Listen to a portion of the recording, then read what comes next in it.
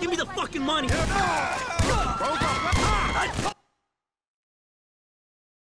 the Fuck off!